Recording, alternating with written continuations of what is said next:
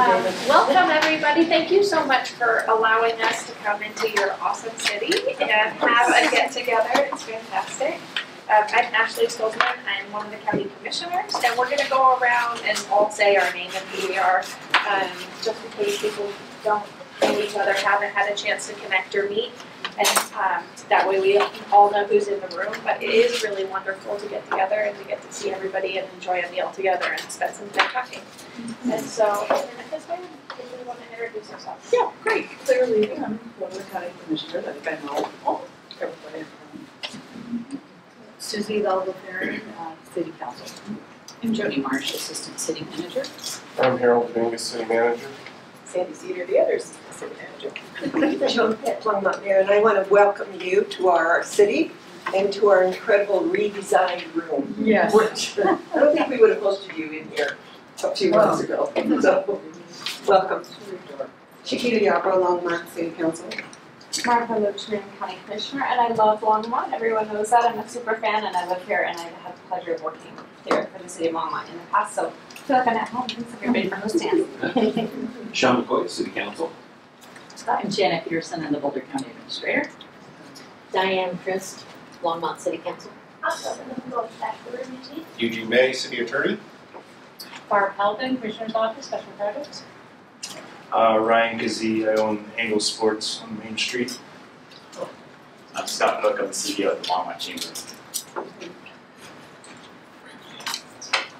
Hi, I'm Molly, Public Media. All right, thank you, everybody. So our first topic on the agenda is update on regional goals and other topics. Um, so this is really an open section. Um, Natalie, our commissioner's deputy, is sick and not here, uh, but she was hoping that each of us could talk about maybe one topic that's a regional goal that's on their mind. Um, and so I'm happy to kick off sort of the format that it might work in, and if we don't like this, we can pivot and do it differently. But one regional uh, topic that we're working on is around wildfire preparedness and mitigation. And so, um, as you all know, the whole community passed a wildfire mitigation tax that the county is administering, and we're really trying to get every resident in the county aware of the risk of wildfire and fire. And every person can make a difference that will affect the outcome that they'll have if fire comes to their neighborhood. And so, for me, um, I don't know if everybody knows, but I was the mayor of Louisville during the Marshall Fire, so I have a lot of stress and PTSD and worry in some ways about other areas that seem vulnerable. So when I see the western edge of Longmont, like I can see what happened in Louisville happening in Longmont. I never wanted to. Um, I don't want anyone's community to ever be affected by fire, but we know there's fire risk. And so making sure everybody, every single resident in Boulder County knows that there's fire risk even at their house, even if they live in a city, that there could be a fire risk and that they have a plan and that they can do things to mitigate against the, the worst effects. So right now, every single resident, every Longmont resident, every Boulder County resident qualifies for a $500 grant to work on mitigation on their house. So we have a program about chunks of junipers and about uh, fences or fuses and things like that to help people get a little bit of money to offset some of the costs that they'll experience um, when they do the work. Like if you hire someone to remove junipers, it can get pricey. And so the idea is this incentive is supposed to get you thinking about it, get you going, so you can think about wildfire preparedness a little bit differently. So that's one regional goal that we're all working on together that I just wanted to raise awareness to. So if there are others that y'all would like to share, it's your turn. I'm happy to jump in, maybe and we can be running the meeting. Um, but so as I look around the table, I guess there are two things that come to mind that I work a lot on. Um, one is the Regional Opioid Advisory Council, where I, I see Harold um, once a month, and the other, of course, is DRCOG, which uh, Mayor Peck and I um, sit on together. Uh, and I, I think I'll uh, I think I'll talk about the um, the, the regional work we do through DRCOG, and most excitingly, um, the work that's going to be starting this fall, still, I would think in October, on the 119 improvements. And long time coming. Um, we've been working long before I became a county commissioner to assemble the money to to um, do improvements along one nineteen that would include uh, a twelve foot wide concrete multi-use path down the median. Uh, It would be grade separated so that you would not have at-grade crossings at some of the busy cross streets like Sixty-third and Niwot Road. Um, And, and on the, on the lanes themselves, the, the corridor would not be, I commuted to the state legislature during the Highway thirty-six, um, rebuild that, that, that was part of the FasTracks ballot measure. It will not be that, I mean, that was a nightmare. Uh, what, what, uh, will happen in order to facilitate, um, bus rapid transit, it'll be at the intersections, there'll be what, uh, CDOT calls queue jump lanes. So buses, uh, that may be stuck in the back of a long line of cars will be able to go around those cars um, to the front of the line at the traffic signal, and then there'll be a special traffic signal that controls them. They'll get to go out in front of uh, the rest of the traffic at every intersection. So that will, uh, that will reduce the bus times. And um, so the last piece of funding for that, twenty-five million dollar raise grant, Mayor Peck and I in our trips to DC every March um, to meet with our congressional delegation, um, secured letters of support for the twenty-five million dollar raise grant. We got that a year ago. We're still celebrating that because that was the last money we needed to do the trip. Um, and so it'll just be a wonderful, um, uh, you know, opportunity to lessen the commute times between Boulder and Longmont. And we know that the commuting is bi-directional, it's not all one way. Um, it'll really make, um, bicycle commuting a possibility there. Uh, and, um, you know, uh, down the line, looking at how to extend that out to I twenty-five, um, it- which is outside of RTD and uh, facilitate, um, more regional transit up into, um, into Polk County and into Fort Collins. Suzie? So, oh, go ahead. Go around, go ahead. Yeah. No, I don't know. So the idea is that we can go around and, Okay. but it's supposed to be an enjoyable meeting. And so if it comes to you and that seems awful, it's not. It's, you know, you can pass. I just, no one has to go, but I know that every single person is here because they represent their community and um, there's a lot, it- they could be very different topics. It doesn't necessarily have to be regional. It could be specific. Like it can be whatever comes to your heart in this moment. And if you don't feel like playing, we can move on. Okay, I know I wasn't prepared to Sorry. discuss regional goals, but, oh, That's why it says we have other topics. and, Another topic. Oh, oh, sorry. we're on the bottom. No, so there, Okay. there's two versions of the agenda. They're Okay, very, very, oh, very oh, similar. oh, okay. Uh, but I'm looking at the wrong one, and, sorry, and so it's update on regional goals and other topics. Okay. So just what I feel like what we do as a council, it's kind of a joint, you know, it's not one individual, but something I, I do sit on the um, steering committee for the core and needs team, so mental health is a passion of mine. And looking at, um, just legislation to help support mental health, we've had discussions around that as well, this is something that's very personal to me. But just looking, so I'm able to meet with the, um, Emily Ben, Ben Dorn, um, from the, last name. And the work that the our core and leads team is doing, so I mean, it really, the, what they've been able to accomplish in that department is, is phenomenal. Because, and, uh, you know, coming from, you know, I have a son with autism and mental health issues, diagnosed now schizophrenia, and having had instances where we've had to call the police, where it was pre-core core and lead team and where we're at now, when they've come out, how they have a social worker, a mental health facilitator, the police.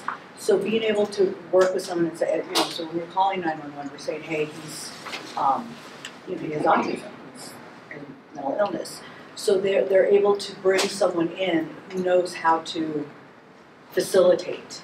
So being able to talk him down. And so hearing, not just seeing it firsthand, but also seeing, you know, through these meetings, how they're able to, um, you know, what, getting in touch with all, you know, different departments and how they're all working together. I think one of the biggest challenges that had been in the past was the, the crossover. So like maybe they might be connecting through Boulder County, an individual might be connecting with Boulder County but not communicating with Longmont Police. They get in trouble with Longmont Police or something happens and then there's no crossover of information. So recently, I believe it was seven hundred thousand um grant, I don't know, it, I'm going to the source of all knowledge over there. Um, uh, for a um da- database. So it'll actually, so as police contact or work with an individual, they're able to get, or our impacts team individuals work with a resident, they're able to put that information into this database and it, it crosses over.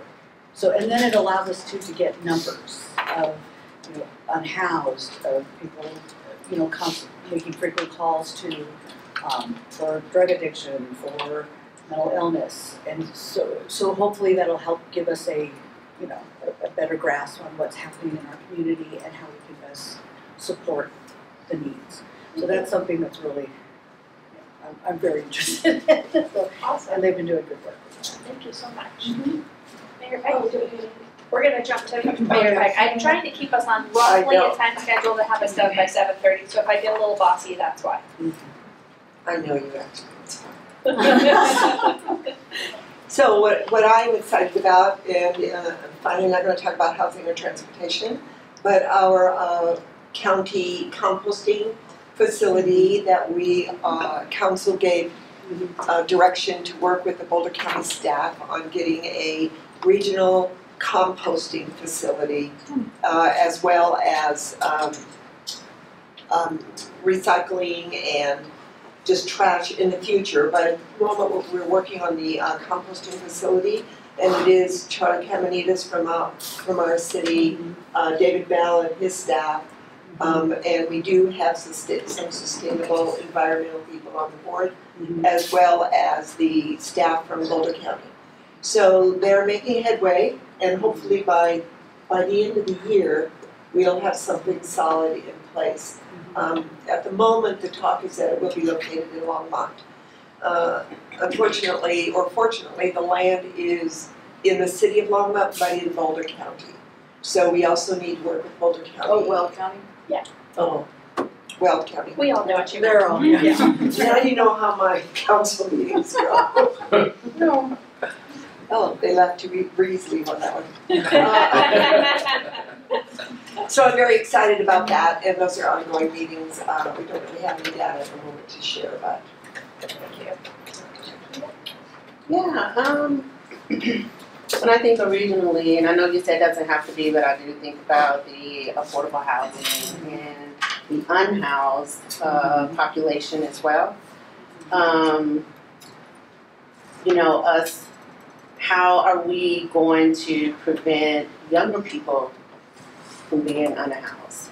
Um, you know, transients and uh, that's coming from other states and that are teenagers that left home for whatever reason and they came to the state of Colorado in uh, wonderful city of Longmont or Boulder County in general. So um, hoping and believing that we can create a system to where we can prevent that and together of course is a great resource uh, for young people but um, how, at least within our city and probably Lafayette and moving around, how can we uh, prevent um, these young people moving from city to city to city? And how can we make sure that we provide the support that they need? Because TGTHR is only, um, you know, is only one organization. And so, um, yeah, that of, of, of course with affordable housing but the goal is to prevent young people from, more young people from being unhoused and making sure that they are prepared to be successful, whether it's going into the workforce or whether if it's for them to go to school, to get a degree, whatever it may be, making sure that we have the necessary resources for them and be there and be available for them. Thank you very much. Um, it's all big topics, it's great. Um, when I think about regional work, there's a few pieces that I've had really the honor to work with amazing county staff um, over the last few years in regards to our COVID. Y'all were very involved in that work um, as well. And our American Rescue Plan Act funding, which we are still working on, um, and have one more big project. I think about gun violence prevention and some of the work that we did regionally around different ordinances to protect residents throughout the county. Um, I think about the emergency services ballot measure and the voters' support of how do we take care of volunteers who are saving and helping and um, getting in on getting in and up all of the different areas around Boulder County and those lands, and that funding that continues to respond to requests. Um, I think about the affordable and attainable housing tax um, that voters approved in 23, um, and that work that we're still working with folks and, and have some additional meetings. Um, but I think I'll touch on the the most recent one that is a convening that Yeah. um, Councilmember Fahring is working on um, as your rep in the regional uh, homelessness summit that we had um, in January, and then some of the follow-up work. So just as an update for the rest of the council, um, we've got three meetings scheduled. We just had our first one August 14th. Um, so we've got three monthly meetings, and with electeds who are regionally looking at this topic of unhoused community members in different ways, different experiences. It looks very different in Ned, and so for me, that initial conversation was really helpful for people to to hear what is happening regionally, which is what we really wanted. And to me, that's one of the really exciting pieces of regional work um, because we're all in different places and hearing different pieces. And so I'm very hopeful about the group that has, um, I think, volunteered themselves from each Yeah. council or board of trustees. Yeah. I don't know how that process works, um, but like I said, we are officially started in that this summer, and and then that group will make a decision about how we want to use the federal all-in-one plan to uh, make some commitments for for, for our region. So some of what's happening.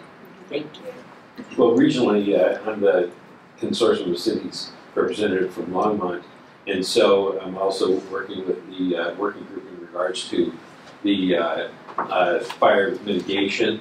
And unlike Leslie, I'm a teacher at Louisville, we're in Monarch, where the fire burned right up to the doorstep. Had students that lost their homes and their parents and families, um, and friends that lost homes and colleagues. And so that that's near and dear to my heart because I think that's uh, important. And we saw how Longmont just literally dodged a bullet uh, uh, just almost uh, nine months earlier. Uh, and if it hadn't been for an episode of, of uh, during the Calwood fire, if it hadn't been for an episode where we had gotten some weather that got some moisture into the area, we literally were finding in the uh, the western northwestern side of town, you know, uh, half dollar size pieces of people's library that had gotten kicked up into the atmosphere so high and was coming out of the Calwood uh, uh, fire neighborhood and landing uh, just right there at the airport and uh, Mountain View. And so, you know, those are the sort of things that, you know, we could have could have experienced this even earlier. Uh, and so uh, I don't want any neighborhood to be in that situation. And I, and I see that, you know, we've got uh, some exposed parts always, everywhere. And uh, we, and we've had a really, really hot month of August and that, so, and dry. So I'm always a little bit concerned that somebody will either, you know, not be thinking and do something dumb, and then we'll be in the thick of it. So that's something I'm really passionate about because I, you know, I saw the ramifications of it firsthand.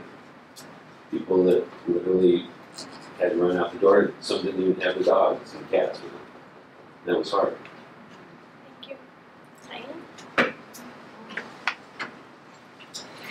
Well, during this budget season, um, and also in the private sector, we're, um, doing budgeting and looking at, um, the effects of COVID that still are persisting in terms of recovery for, um, small business, I work in the small business industry, but that's less than fifty employees, not necessarily small dollar amounts. And, um, just, uh, considering how are we going to move forward to activate our economy again, especially with local businesses. And I think that we have a real opportunity to negate the residual effects of inflation and also, you know, build a, a good economy again with, um, the effort to produce. I think some of our supply chain producers everywhere, if we can do it here, I believe it's best done at the local and regional level, and at the state level, and it will work its way up, so, so anyway, um, I'm an accountant by profession, so that's something that we're working on. And it seems like every day I'm rolling up my sleeves and getting on the computer and looking at my, some of the same data, as I was saying to the mayor last night, um, to see what we can do to improve. Awesome. Thank you. That, that was really inspiring to hear what's on everyone's mind. Are there any other topics we need to cover in this section, or should we use that segue to jump right into local minimum wage conversation? I just wanted to share something with Susie, Mm-hmm. which I can share with her later, but, it- but, well, it's a, it's a, it's a, well, it's an initiative that the, um, City of Boulder Police Department has on, around, um, people with autism and, and other, um, forms of developmental disabilities, where they've, they've worked with, um, the Center for, for People with Yeah, Disabilities on a sticker Uh-huh. that you can have on your car window, you could have it like on your door, so a responding law law enforcement officer, or anybody who's responding would know that there is someone in that car or in that home who may have autism and, and they would be aware and can respond this way. And so they're just rolling this out, it's totally voluntary, of course, and you're not, you don't to. You find out about that. It's a great It looked like Commissioner Lynch has something else. Just for the good of the group, Yes. um, what Councilmember McCoy was alluding to was our subcommittee on, we're supporting regionally, the September is, so we're in it right now, Yeah. September is National Preparedness Month. And so if, if those events haven't got shared from our Office of Disaster Management, we can get those sent over to whoever would like them, so, because everyone's invited. So, we can start shouting out that work that we're doing in the consortium. I don't see any other gestures that make me think anyone wants to jump in, so we'll move to the next topic, which is local minimum wage. I'll turn it to Commissioner Levy, she's been the team lead for us on this. Sure, um, and we, so I did distribute just a, a two-pager that our staff put together on, um, you know, where our minimum wage falls relative to Denver, Colorado, and Edgewater, and so Denver and Edgewater, you know very well, are the, the two other local governments that have, um, adopted a local minimum wage, and then, um, what, what our process was, and I know that, um, your council, uh, I guess, a week ago, um, had your, your study session on it, and so I, I thought, you know, what, it would just be interesting to have a discussion if you're all comfortable on that with, you know, I know there wasn't an action item council meeting, but, um, you know, just a, a discussion about where you think Longmont might go, um, what opportunities, this was a big topic at, at the Boulder City Council meeting about, well, how, how do we, um, then come back and make this a regional, and truly regional process? With reasoning that, um, that if we all can get on the same page about a minimum wage, then cities aren't playing off against one another for new development opportunities, all the people who are kind or challenged by the cost of housing and just the cost of living in general, um, can, can benefit from it. And so, um, I guess I would open the floor to, to thoughts about, um, First off, Commissioner Levy, you have to tell us if you listened to the whole meeting on August twenty-second. I did not. Okay, because that, So, yeah. that is a test, basically. Yeah, I was not, I was actually coming back from a long weekend in the We split coverage so- on Oh, it, did so? I watched, Yeah, and I didn't, I did not stay on until two thirty or whatever in the morning. I did watch Yes. all of the council discussion and staff presentation, and I did not stay for the, your whole mm-hmm. epic meeting that went into the early, early hours.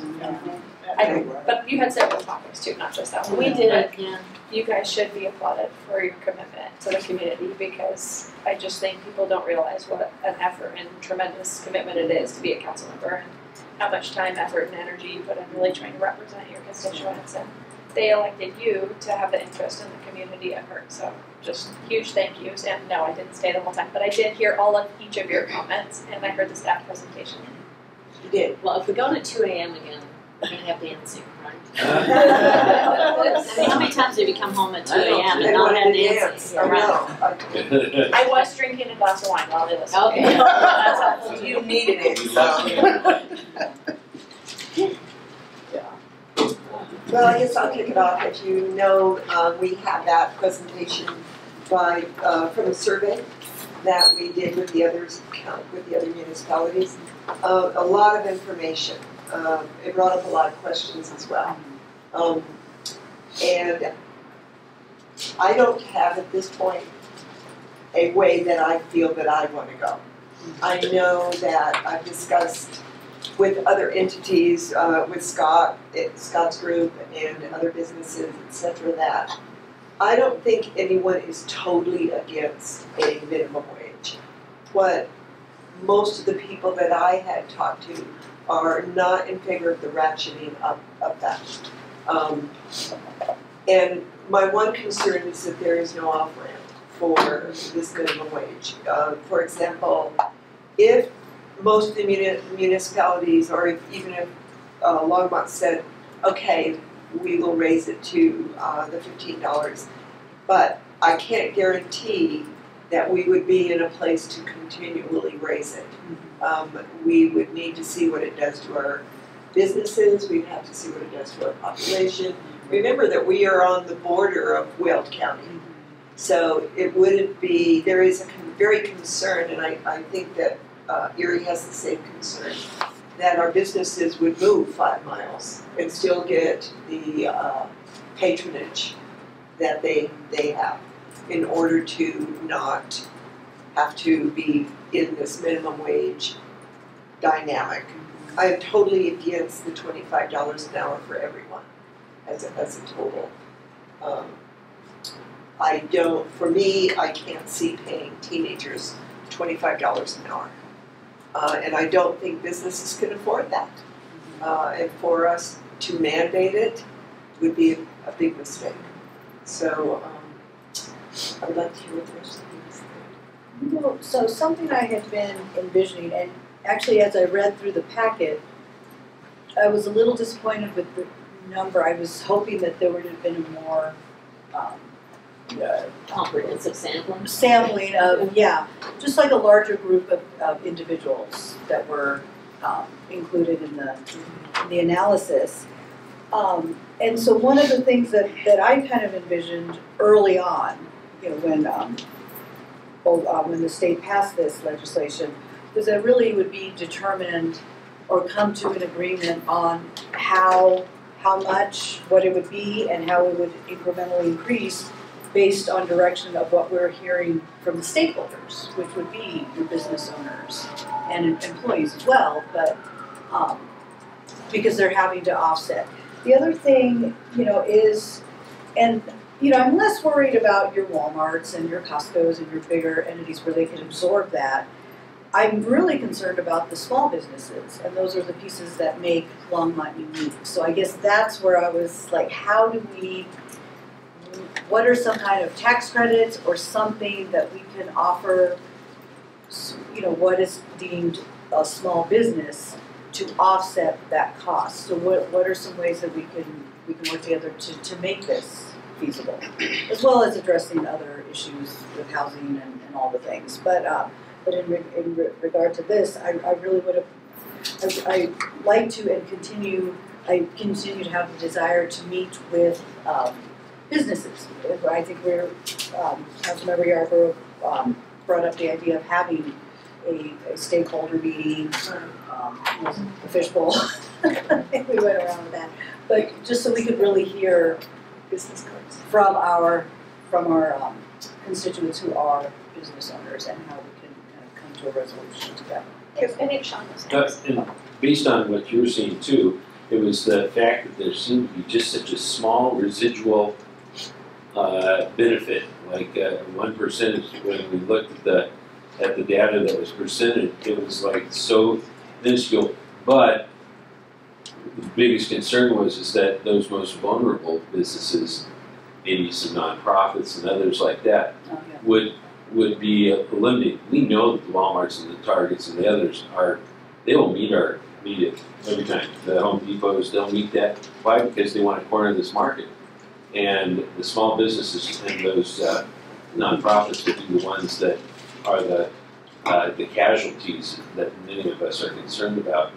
You know, I'm a, I'm a career technical teacher by, by trade and everything, and so my feeling was is that I'd like to see, to what Mayor was pointing out, I'd like to see more of a certification sort of aspect to this where we say that if we're gonna move forward with this, there's, that's, that's the qualifier, that, uh, you know, if you have to be certified to do the job, but it's still kind of an entry-level job, let's say like a lifeguard, uh, that type of job, you still have to have first aid CPR and, uh, and lifeguard training. Those certifications show people that there's a benefit to getting more education and other things like that. I also think that there's maybe a benefit that, uh, to, to encouraging, uh, some businesses, uh, some areas of our business market to do more unionized, uh, uh, you know, uh, kind of encouragement, like some of the, uh, places that I would think would be like, uh, building contractors and stuff, folks like that, so there's some stability in the costs of these, uh, uh, of building, that sort of thing. Once you have your labor secured and have a, a defined cost to it, uh, uh, then you can really start trying to cut down the, the cost of, of, of what it takes to build something. And, uh, and then we also know that these guys are protected, that they have, uh, benefits and other things like that and that uh, that the safety aspects of it too is important. So those are some things that I I think uh, there. Plus, I, I have a lot of faith in the the voters themselves. Uh, I don't think that uh, this is such a big uh, ask of them that I think we need to put it to them to actually implement it. Okay, I just was Yeah. watching for micro signals from people who are oh, ready to No, I- I- I talk, had so a I didn't little- see her move yet. I had a micro infinitesimal movement, but I, I can. Yeah, So I have to agree with the mayor that I think that, I don't, I haven't heard anyone who said that they didn't believe in increasing the minimum wage. I think the, the number one issue is how we're going to do it. And what I've heard is the fear of when it becomes twenty-five dollars an hour, that's the freak out moment. Mm-hmm. And that's where most businesses and most people stop, they're stagnant at that mm-hmm. not the the incremental before that, you know? And so it's that twenty five dollars an hour. How in the world am I going to be able to pay that twenty five dollars an hour per per employee or, you know, whatever the organization, no one knows what where they're going to be at at that time. Now I'm kind of torn about the, the teenage um, I was I remember when my first year in college, I was 19 years old. I mean, I wasn't. I was probably 18 and a half. And I came home for the summer from school from college and ended up getting a job making $19 an hour. And that was like way back in the day in the 80s. And so a lot of students didn't go back to school because they saw that that money and they were like, Psh, I need to go back to school for what? I'm making good money. To them back then in the 80s, $19 an hour was a lot. Um, so I think about that and the responsibility of a teenager. Granted, I was an older teenager, but still. And then I think about when we look at that survey, it mentioned that most of the people that received minimum wage were high schoolers. And probably most likely that's where it needs to be. Um, most of the, the businesses that I have talked to, with our local businesses in the city of Longmont, are paying way above and beyond. Yeah. Uh, seventeen dollars an hour or more. I mean, King Super starting off baggers at seventeen something an hour. I just left there today and saw the posting for a bagger was seven over seventeen dollars an hour. So for me and what I've been listening to, and I'm on the board of the LDDA here for downtown, we just had a consultant come in and talk to the businesses downtown. And part of her report, she didn't complete the report, but she said they are tired.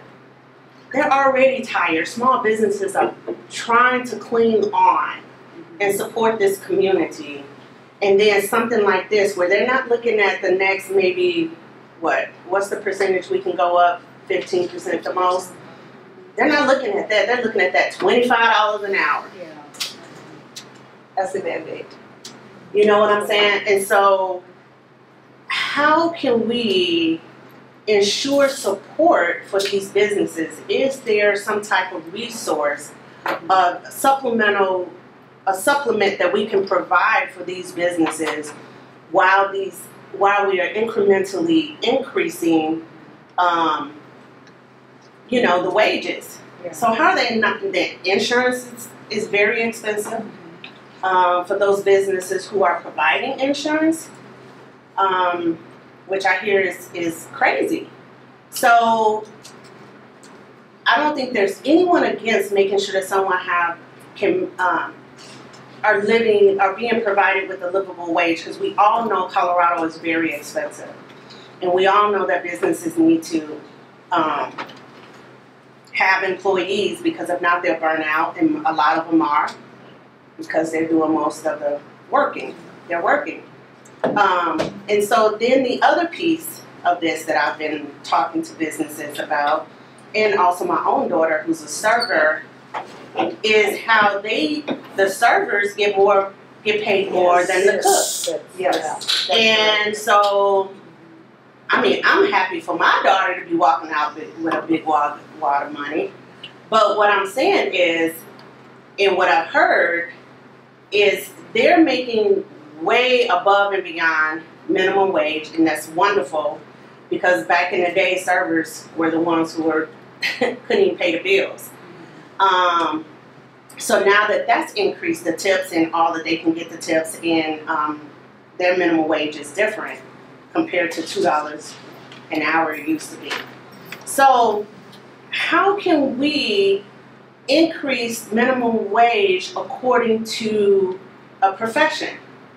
So if we have those who are servers and if it's what eight eighty an, an hour or whatever it is and then plus they get tips, how do we monitor that um, or how the business owner monitor that and say what they can and cannot do because I don't feel like we should be telling business owners what they should and shouldn't do.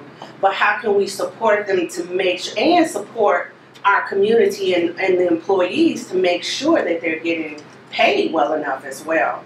And if the business owner cannot support that wage, how do we supplement or provide some type of resource for them?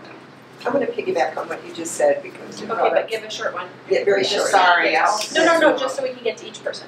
So, um, I, I talked to a couple breweries and what they are saying is that their servers are walking out with forty dollars an hour because of the tip and equity. But the people in the back room who are packaging, who are, uh, slapping on, um, labels and, uh, shipping, the, they can't pay them enough to match the equity of what the service are getting. Walking out of there with forty dollars a night, and they're paying twenty-five dollars an hour now to their laborers in the back room. So, um, that inequity doesn't sit well. I'm done, go ahead. I think Commissioner Loachamin was next. Thank you. Oh, sure, yeah, thanks. A couple pieces from the background I think might be helpful just as a reminder, because it wasn't included in, I was here at the beginning, um, for the first two hours, and then I was online. Um, the background, for me, there was a piece missing for the full council who wasn't involved in the consortium meetings back pre our, time. Um, in two thousand nineteen, when the legislation at the state level was being discussed it was on for um, in action, what does Boulder County do regionally for the um, spring 2020 meeting? And so it got delayed, obviously. So the ask was in 2021 from the members at that time, because I've been leading consortium through this time, to bring this back with exactly what I just heard a couple of you say. Folks are getting paid more than $15 an hour. This would be the opportune time to ensure for all Boulder County residents that they're not gonna work for less than fifteen dollars an hour, or an hour in Boulder County. So just to give a little more context to the timing, this, um, didn't start in twenty twenty-three. This has been going on since the legislation got passed in eighteen. We brought it up by request from some of our different council folks in the end of twenty-one. And I was leading that work in twenty twenty-two when everybody at the table at that time was on board regionally. And so for me, the biggest goal is regional. Um, so I appreciate everyone's conversation. To me, what is missing in this page document, which we could share with you too, is how we responded to some of the business support and that fund that we created at the same time because we were wrestling with that a little bit as well. Um, so we could definitely share that if that's helpful for ideas and you all might come up with something bigger and different or, or we don't know. But um, I do think um, I've heard Councilmember McCoy and also Mayor Peck when we were in consortium meetings previously talk about putting the question out to the voters. Yes. And that really captured, you know, it was like, oh wait, where have I heard this idea before? From the mayor. In the presentation, when the data in that presentation that we heard shared that the folks that were surveyed um, would would forward uh, a minimum wage in some regard. So that for me was like, well, there it is. The community is telling us exactly what they would do. I was also really interested in the folks that were brought out in that data as those put in the most vulnerable situations. The Hispanic Latino demographic here in Longmont specifically was pulled out in that data in the chart, and women mm-hmm. were the other ones who they said in the presentation are the most likely to get paid less than minimum wage. So for me, those were very compelling, and I was I hadn't heard folks talk about those data points, but for Longmont residents specifically in that data point, I thought that was very interesting, and, and hopefully that helps encourage some of the conversation. Um, but I am interested in what you all are proposing around putting it to, um, putting the topic to a vote. But I would also encourage, the way I read the packet, um, in the same packet, or a similar packet the Boulder City Council folks had was, um, the options A and B and D and C and however they were written out aren't the only options. And so I think this is, like, this is a great conversation to hear you all, um, to come up with a different escalation. The Escalation doesn't have to be fifteen percent. Yeah. And I've heard that same concern. And so how do we get, get away from fear? We give hope, because we know hope is contagious. And so my belief is that if people in Boulder County just know they're not gonna have to work for less than fifteen dollars an hour. Because inflation, insurance, childcare, student loans, and housing are issues that our residents also face. I understand that businesses face all of those too, but we are we are sitting inside of a system that's greater than us, that's demanding for people to go fight for the crumbs and like so what would it look like if regionally we helped businesses get what they need so that they could take care of Yeah. people?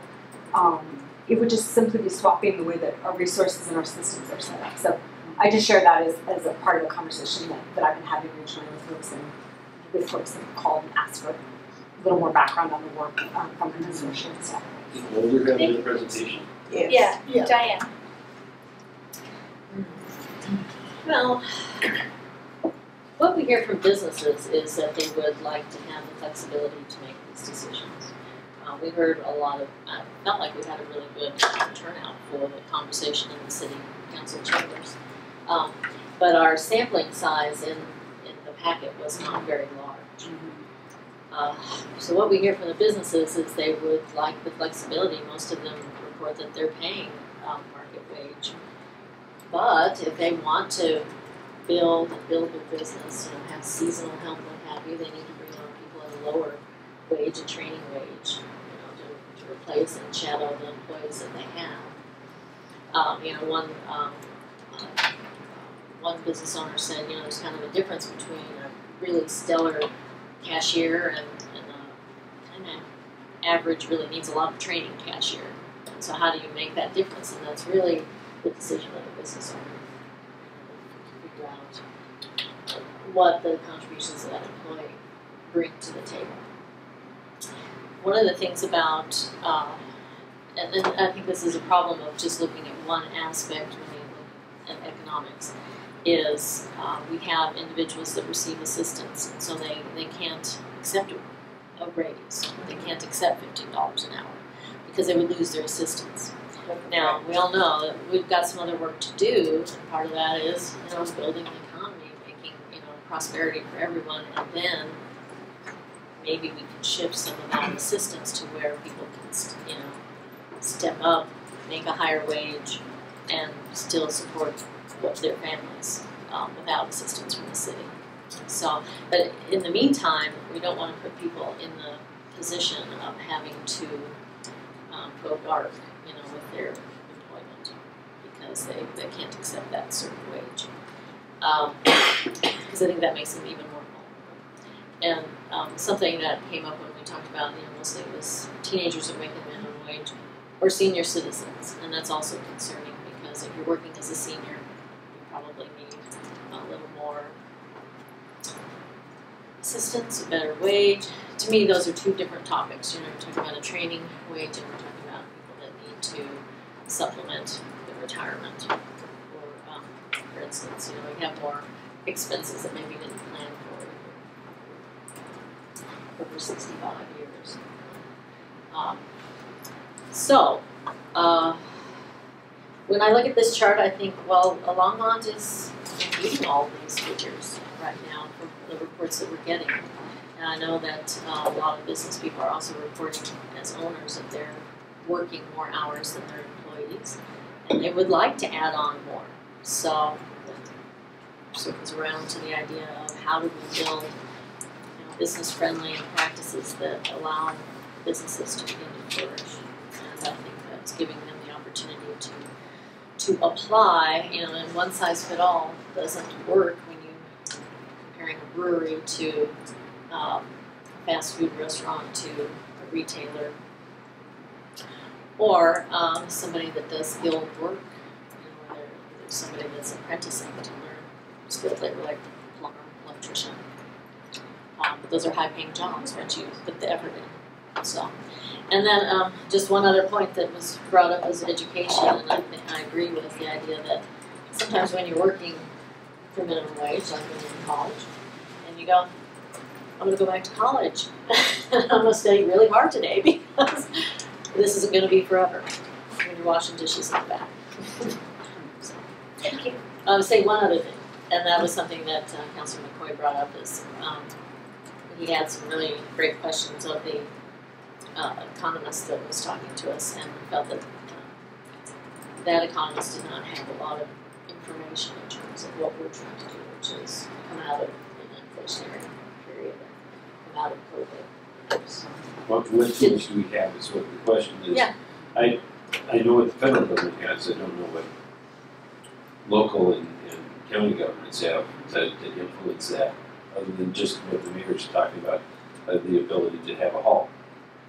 Thank you. And so I'll add my comments and then Commissioner Levy will close us out and we'll have to all get coffee separately if there's more on this because we have to move to the next one. But my, my comments are, um, I have sort of an invitation of a proposal. Um, so when we started working on this together in 2018, 2019 and really talking about it, I think the sentiment was like, well, there are market areas and people should be looking at working collaboratively to look at what wages should be in a market area. And we really had wanted the state to raise minimum wage. It was, it's, it's, I probably still think this, and I thought at the time, it's really, it would be better if the state would raise the minimum wage. And the argument was, well, there are some very depressed areas of the state, there are very different areas of the state, and the market's just so different from Denver Metro to Alamosa to uh, Routt County. They're just very different markets. So y'all just work together, and it'll be no problem. Oh, for sure. There's only 58 local governments in our market area, we surely can just easily work together and do it. And what I've found as we've tried to work together on this topic is a ton of fear um, along the lines of what Commissioner Loachamin is saying. And uh, we had we've made a lot of commitments to one another. Councils have come and gone since then of people saying this this will be the year, this will be the year, and each group is, is very what feels like afraid of the effects because we all care about our local businesses, because we all care about the people working. What really motivated me in my vote last year, um, as we worked together at the county and, and we're really trying to encourage everyone to move forward, is seeing the information about who's being left behind.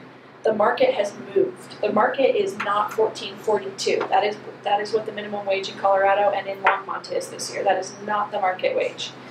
So if you work at King Soopers and Target and any of these, like, that is not what you're making. And there are single mothers that are making that because they're being taken advantage of and they're afraid. And that is what motivates me to make action and then figure out how to mitigate the negative consequences. So we've heard there might be negative consequences, we're afraid of what might happen. Okay, let's talk about that. What would we do? How would we run a program? How would we address that?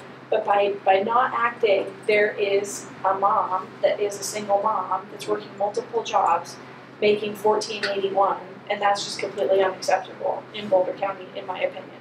That if they're contributing to society and working hard and afraid to ask for a raise, don't know how to ask for a raise, haven't been trained to ask for a raise, don't speak English and their boss speaks English, and that's not an acceptable wage to pay someone contributing and working full time. Like that's just not appropriate.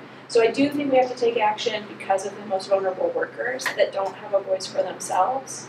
And then we need to address the effects for the business. That's where I come from on this. And I just want each Longmont council member to know that everybody's watching you. Like you might not feel it, but everyone in Boulder County is looking to Longmont for leadership in this space. When I talk to members of Lafayette Council, they're like, well, we'll do it if, La- if Longmont does it. They, they could care less what Boulder's doing. Like, no, it's like, that's Boulder, who cares? If I talk to Lyons, if I talk to Louisville, if I talk to Superior, if I talk to Erie, they say, what is Longmont doing? What is Longmont doing? Longmont's the biggest city, the most influential city, like people care a lot about what you're doing. So I just, I don't wanna make you feel bad, but I want you to know that there's a lot of people watching because they're interested and impressed and inspired by Longmont. So in my, my invitation that I'll end with is we structured our wage increase such that we could all get on the same page. So instead of having a philosophically, uh, what? There could have been a philosophical way of calculating our number to meet some obligation or goal. It was calculated in such a way so that in 2025, if we wanted to, we could all get on the same number. So if if you wanted to join us, we could all be at 1657 in January, and we would have the same number.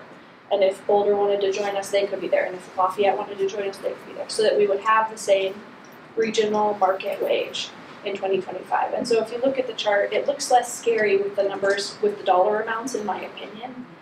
And so it's really just saying, in 2025, do you want the single mother to make 1657 instead of 1481? That's so that's really the only question you can answer at a time. We can't go higher than that. Like there are state laws and rules, like there are boundaries. We can't address every issue that is brought up because of the way the legislation was written, but we can make programs to offset the negative effects.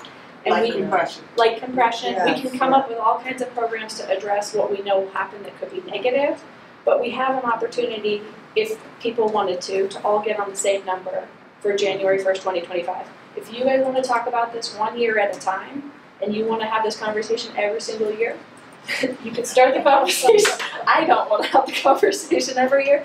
And if I was a business, I would not want the government to have a conversation every year. I would want certainty about what the plan and the program is. But if that makes you uncomfortable and you don't wanna plan out for ten or fifteen or thirty years, and you just wanna say, what are we gonna do this January? You could just do something this January. We could all be on the same page and continue the conversation next year. So that's my invitation. Thank you.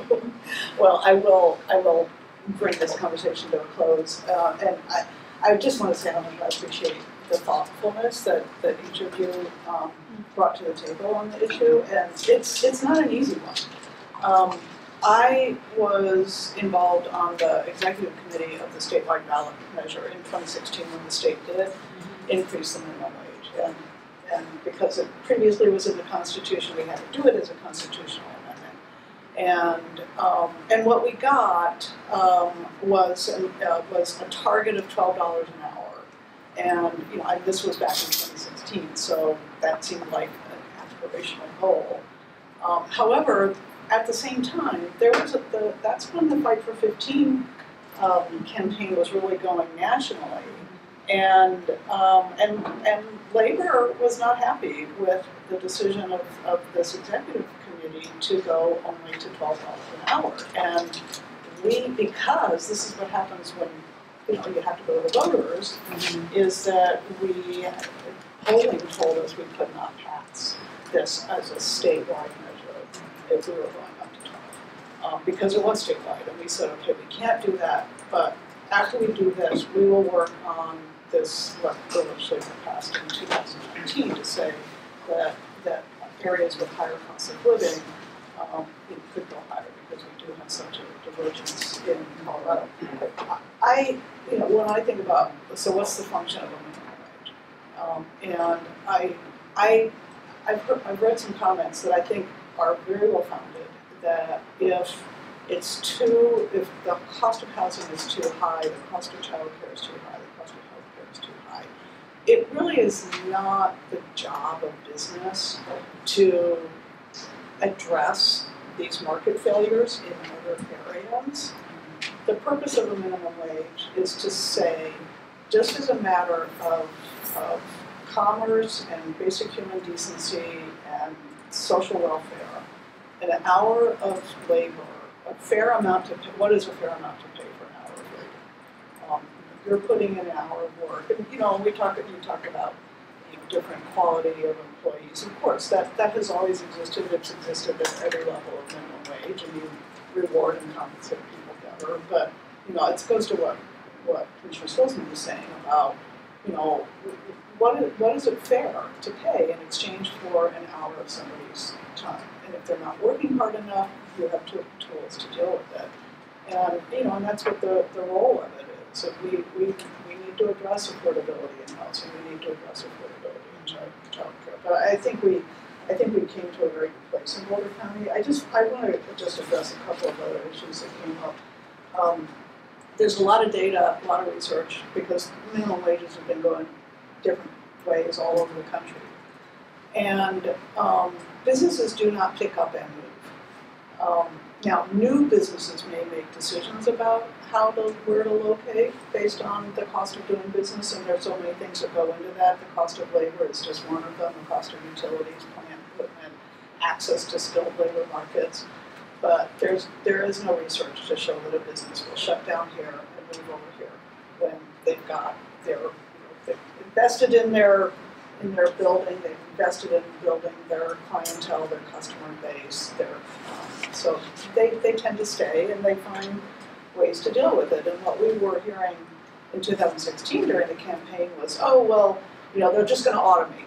Um, and so there go those entry-level, low-wage jobs. And our response was, good, because chances are those are pretty bad jobs. And if, so if you can automate, you know, I, my first job was, was at uh, McDonald's. And they, you know, I remember taking the, the french fry hopper out and putting it out there to let all the grease fly off it, and then, you know, this hot grease is splattering all over everything. Well, they made a machine that could do that. Wow, that was great. So now people can do higher level, more higher value things. So it does lead to innovation. Um, Twenty-five dollars an hour, like that's a scary, it- you know, it, it is a triggering number, like, wow, that's a lot. But, you know, think about what that would look like in twenty thirty, which is what our target. Is, you know, twenty thirty is six, six years from now. So, you know, it, in twenty thirty, I, I doubt that it will be scary, but, you know, we'll, I think Boulder is gonna, probably, City of Boulder is probably gonna do three years of eight percent and then go with CPI thereafter. There are all kinds of different ways to do it. Um, you know, the, the tip differential, I've, I've heard some conversations around going back to the legislature. And because this really addresses uh, the, the issues with restaurants and, um, you know, they're struggling to employ people and going back to the legislature and asking for a larger tip differential. It's, they just set it at whatever the state differential is, which is three dollars and two cents an hour. But, and that what's in the Constitution says state minimum wage.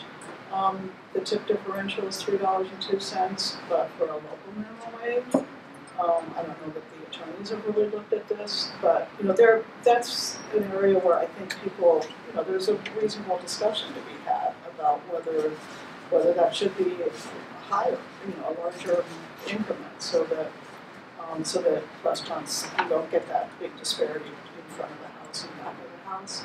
And then lastly, as you know, you know, with, with unemancipated minors, the state law did allow, um, allow a different, not, I, I, I don't know that you would set a different minimum wage or whether you would just have them subject to the state minimum wage. But, you know, this is, uh, I, I think I first met Scott Cook when, um, I was going around debating various people about this issue.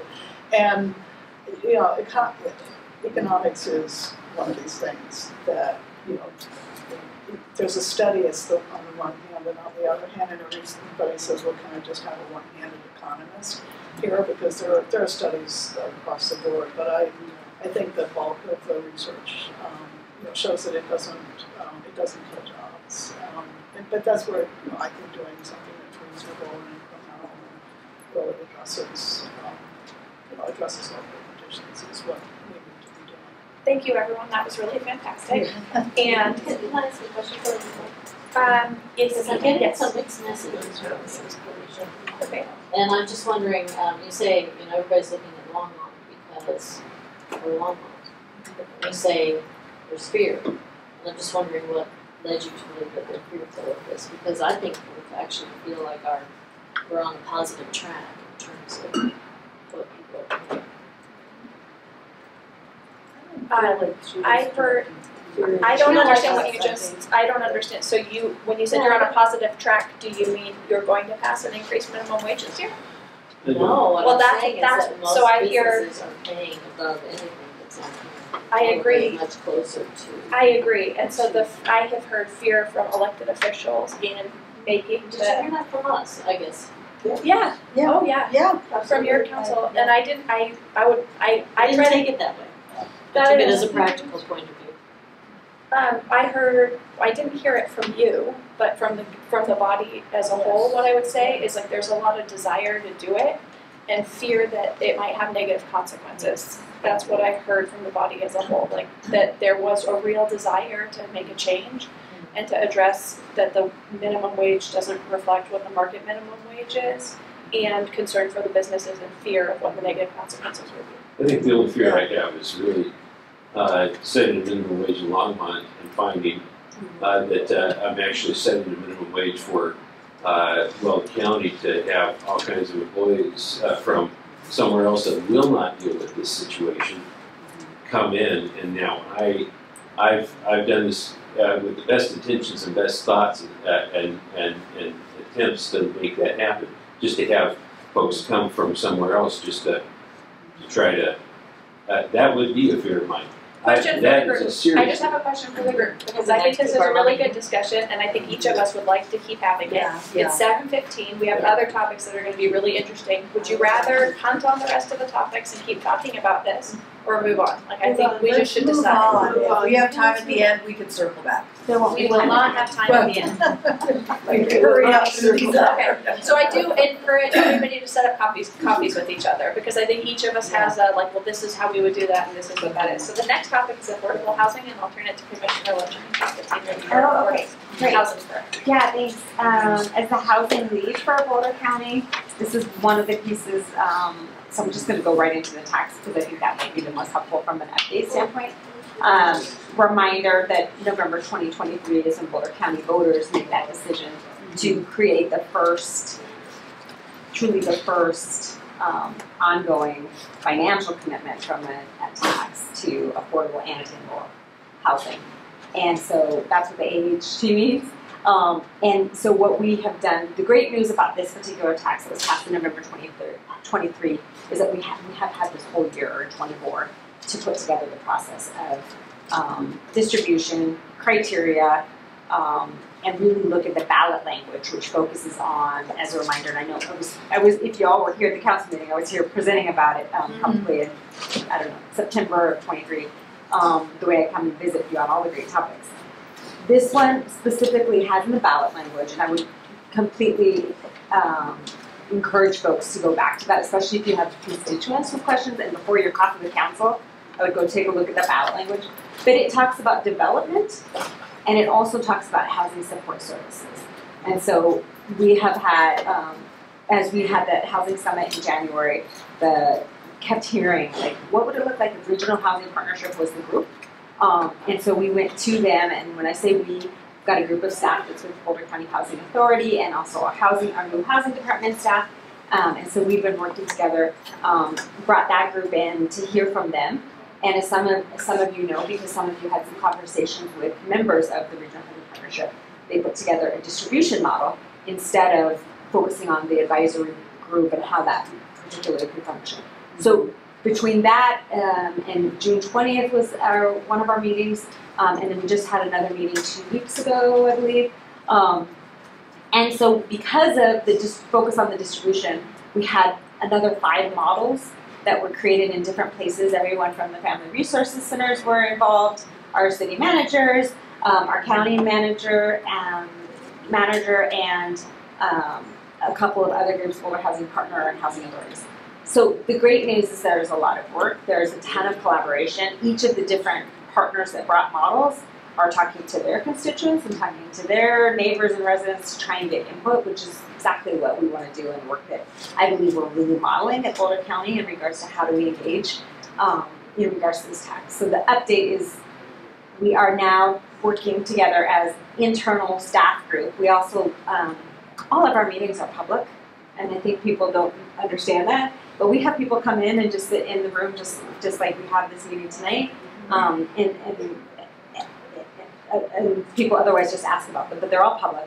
Um, and we had folks asking, could you also put on a Zoom? And so we did that for those different public meetings. They work differently than a city council but I just want to show that. Um, so we've had a lot of engagement. Um, and so now our work team is um, coming together. We are hoping um, that we might make this budget cycle. That's kind of the goal. But um, you can imagine we started budget presentations this week. So the timing's been, uh, um, we're, we're still going to be trying to meet our October 8th as a deadline. The important piece there, and a question that I think city council folks have had, and also um, potentially partners you work with in the space of housing, is is this whose decision is this?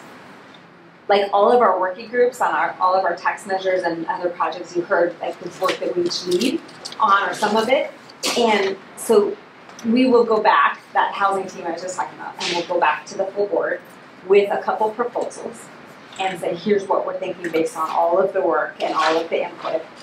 And and then collectively the board's gonna make a decision and our hope is that they're gonna say, we love it, yes. Um, but we might go back to the drawing board. And so we are ready that if we can make it into this um, budget season, we will, and if not, we'll come with the budget amendment in twenty twenty-five.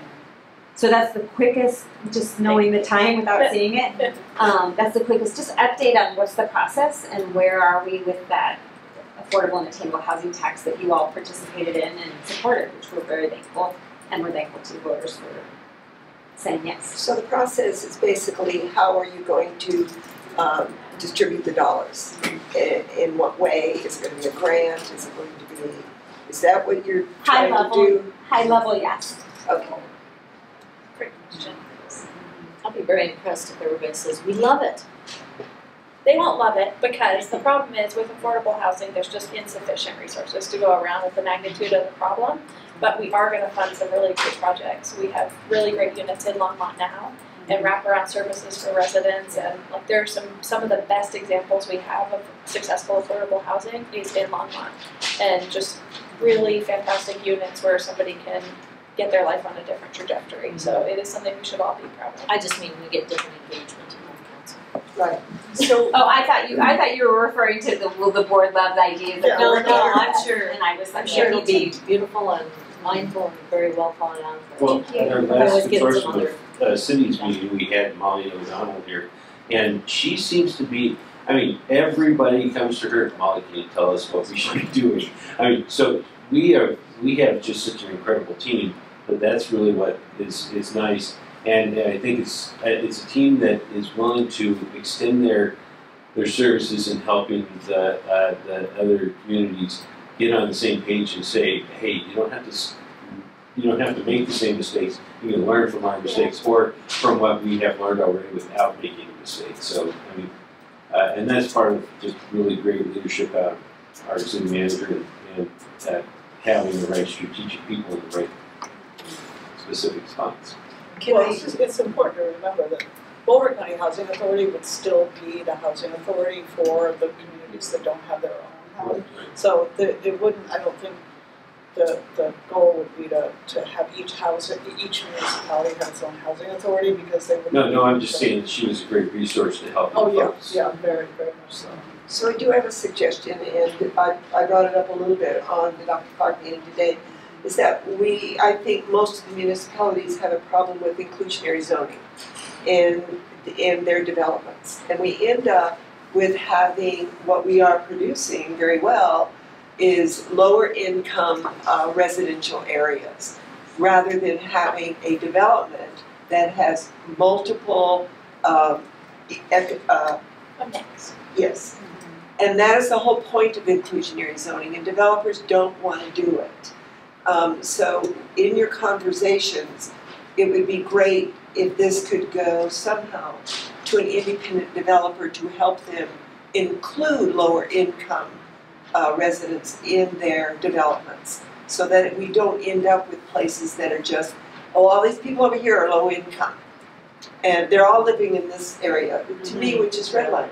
Yeah. And um, I think that's one of our problems, is we cannot get independent developers to develop low income in their developments. Commissioner Wojcik. Just, thank you, so I just wanna clarify, you're talking about private developers versus Yes. development like BCHA.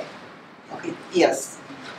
Any housing authority, outside of a housing authority, independent developers. Okay, just wanna clarify, and I know some of our boards had that conversation. Yeah, since we have other topics, I have a lot of thoughts about that, but we have other topics to get to. Okay. That was a great update, thank you, there's a ton more that we could talk about in this, and so at our next meeting, or maybe some focus meetings, we'll talk about um affordable housing more. Um, I would love to combine sugar mill redevelopment and annexation into one topic, because they're related. And so, um, this would be the time to have any conversation about, uh, either of those topics that, you know, would be resolved from us all sitting together. I know, um, I'll just speak for myself, but I bet that the board thinks the same thing. We haven't had a chance to check in with each other on this, but it's, the opportunity at the sugar mill is really exciting. And, um, we, well, I was gonna say we, I think we, um, I think I can safely say we wanna be good partners in facilitating what needs Longmont has in that redevelopment, and so if there's anything you wanna discuss on that, please let us know. I'll get rid of the homeless there. Aaron, do you wanna say something? Yeah, so, um, the sugar mill's been on and off as we continue moving through this. Obviously, we know that, um, it's not in Longmont, so the strain of the sugar mill is really, um, primarily being borne by Boulder County Sheriff's Department and Mountain Fire Department. We have, um, IGA, you know, to support, if there's an issue.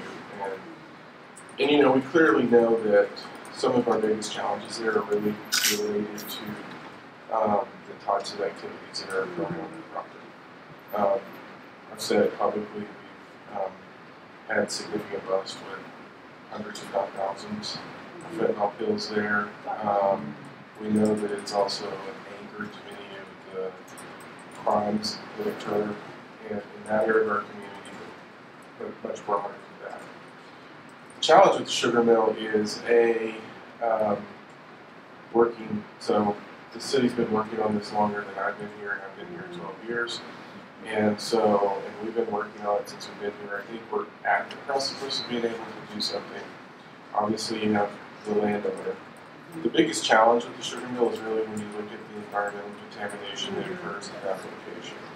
And so, when you look at the work that has to be done, uh, because you want to preserve the historic asset. Um, and what's interesting is structurally it's solid, the brick is not structural. The brick is actually decorative. Um, it's the steel structure, and it's, it's in decent shape, so you want to preserve the history of the community, but in order to remediate the environmental issues and make it structurally sound, that's like sixty-five to seventy million dollars. And so, today, so obviously, the other thing that you're chasing is time. Um, because the more time, the more expensive it gets, the more time, the less likely you are to do that. And, and so we run models in terms of looking at urban renewal, looking at, um, general improvement districts in order to really inject that. And the big issue is, I think, for anyone to do anything on that, it's gonna take all the governmental entities um, and the capacity they have within the urban renewal to, to give that increment in order to deal with that issue, because, you know, this isn't tradi- this is what I think urban renewal is designed for, is to take these blighted areas and deal with it. And it's gonna take that and some type of district component in order to just carve through it. And as we've talked about it, when we think, about affordable housing and all of that, inclusionary housing, those are all things that we've talked about in terms of looking at a much broader structure, in terms of it just being a market rate development, looking at how you can bring workforce housing in, look how you can bring affordable housing into this. We're actually testing our house pad project, um, it's gonna go under construction in September, which is for sale affordable and for sale attainable as really a model that we can utilize as we're looking at this development, so it truly is an inclusionary project. And, and there's like as stiff headwinds as I've ever seen on any project related to those environmental conditions. I do wanna thank Janet and the staff. We've all gotten together and started working at what can we do to deal with the issues in front of us, and I think we're all moving. Uh, but the next conversation really is, you know, it's gonna take all of the jurisdictions that can step in on from an increment standpoint and able to, to kick this along. Otherwise, I don't think it's gonna happen, to. Not seeing anyone else jumping on it, I think everyone's working recognizing the time. Yeah, well, I just, I was gonna ask, and it sounds like, uh, have you done s- some concept planning for that site? It sounds like you have done. Yeah, yeah. We have a whole area plan. Okay. So we've done an area plan, the potential developers done some design work, we've done They did it environmental with our- planning. Third graders, Third our third graders did the design. Okay. So yeah, we've got it It's all. We got, yeah. I'd love So- to see so- it. So think of, I'd love to uh, see it. mindset, Yeah. there. Yeah. I that a didn't lot mean of to, like, the vision up a whole is like conversation, that. just, yeah, but that's great to, to know, I'd love to see. Just give me a call, Yeah, I will, chat. love to see it. And then just ch- checking in, are there any other annexation topics that folks wanna discuss, anything pending? I know there's been a couple. So I think I put, I asked to have this on the agenda because I was wondering about the status of the Commonwealth States um, annexation and whether that's in progress. So everything is on hold because of litigation. And Oh, so, once the litigation's resolved, then I think that will then come into our system, but right now we can't process it. Great. Thank you all. Uh, we're gonna take public comment now, um, and it was posted on the Longmont agenda, so if any members of the public would care to comment, you each have three minutes. Please stand up and let us know your name and then tell us what you'd like to tell us. Go for it. I think you're at time, so I'll, I'll, I'll be gracious and give them Thanks. All right, thank you so much. Sorry, we missed. You're not gonna you. keep us here till Um, two fifteen? This was, this was really awesome, and what it told me was like, just the, the more we can get together and connect and talk, the better. Like, this was really wonderful, and, um, it looks like Barb is trying to wrangle some way that people can take food home, maybe. I'm sure we did not eat all of that. You know, Thank you, have a great night. uh, Thank you all.